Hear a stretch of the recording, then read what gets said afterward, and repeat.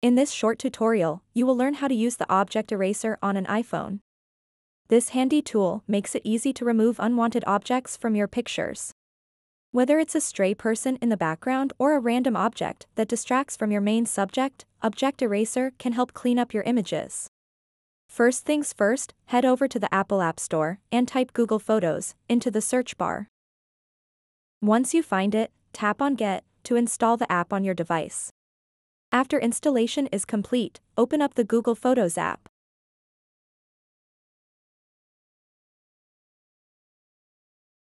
Upon opening Google Photos for the first time, you will be prompted to allow access to your photos. This permission is crucial as it enables the app to access your images. Tap Allow Access when prompted.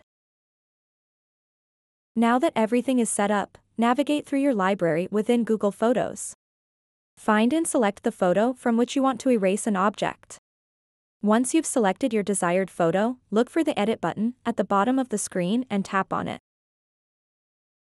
This will take you into editing mode, where all tools are accessible. In edit mode, swipe through options until you see Tools. Tap on this section to reveal additional editing features available in Google Photos. Among these tools, locate and tap on Magic Eraser. This powerful feature allows users to easily erase unwanted elements from their photos with just a few taps. With Magic Eraser activated, use your finger to circle around the object you wish to remove from your image. It's as simple as drawing around what needs erasing. Simply tap Done once you're satisfied with how everything looks. Next, save your edited photo by tapping on Save. And there you have it a step-by-step guide on how to use Object Eraser in Google Photos on iPhone. So that wraps up this tutorial. If you have any questions about this whole process, please let me know in the comments section below.